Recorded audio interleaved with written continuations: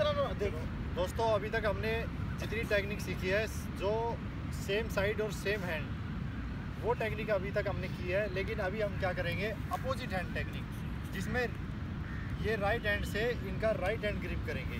ये देखना आप कैसे ग्रिप करते हैं। ये, ऐसे इन्होंने राइट हैंड से राइट हैंड को ग्रिप किया।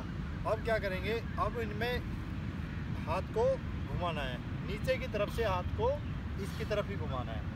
और दूसरे हाथ का सपोर्ट लेके इसके एल्बो के नीचे रख के हाथ को मोड़ देना है।